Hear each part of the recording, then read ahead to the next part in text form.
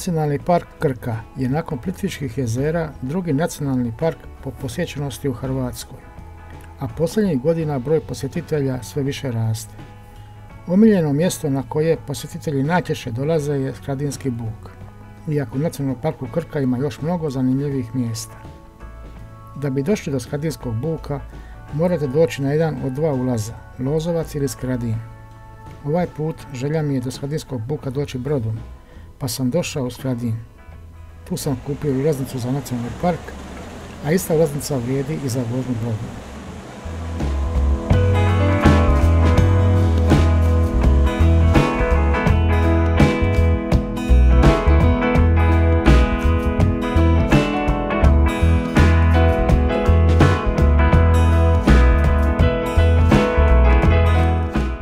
Iz Skradina do Skradinskog buka može se doći i pješke, lijepom stazom uz rijeku. Staza je dugačka oko 3 km.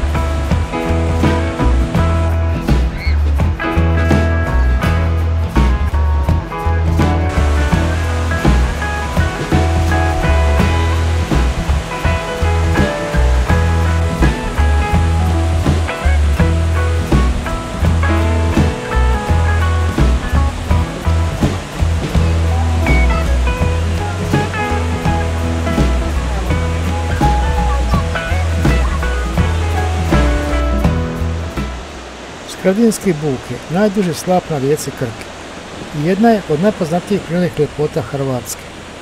Slap tvore sedrene barijere, otoci i jezera. Ovo prekrasno mjesto može se razgledati tijekom cijele godine, zahvaljujući mreži staza i mostova koji omogućavaju ugodnu i sigurnu šetnju.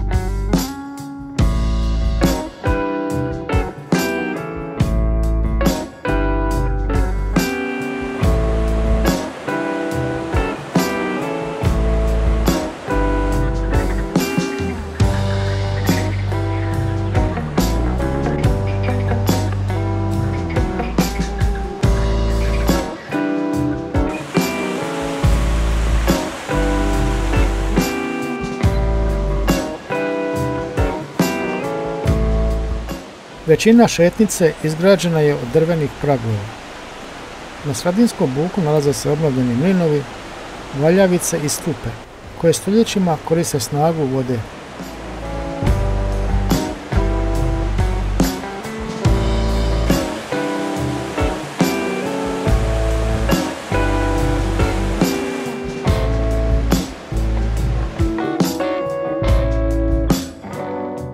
Tijekom šetnje nailazimo na prekrasne prizore kakve samo priroda može dati. Idealno za snimanje i fotografiranje. Kako duži vremenski period kiša nije padala, količina vode rijeke Krke nije velika, pa ni slapovi nisu tako bujni. Nakon što padnu kiše, vodosta rijeke će porasti i slapovi će tada zablisati u svojoj punoj ljepoti.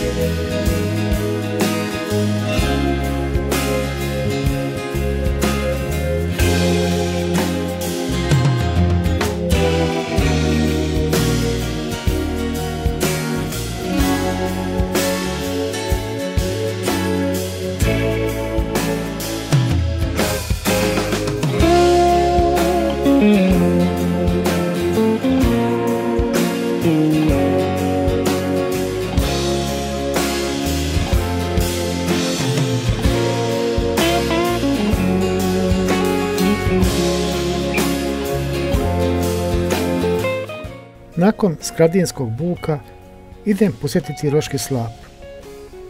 Tamo možete nastaviti brodom i usput posjetiti otočić Visovac i razgledati Franjevaški samostan. Ili ako vam je vrijeme pobjeglo kao meni, natrag u Skradin pa do Roškog slapa automobilom.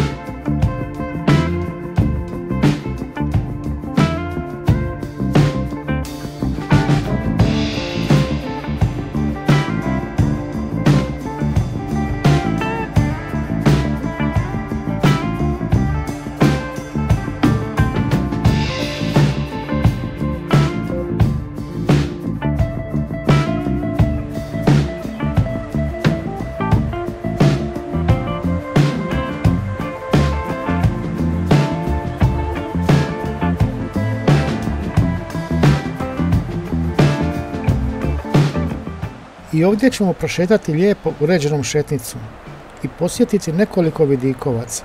Naravno, u okolnim ugostiteljskim objektima možete se okrijepiti dobrom hranom.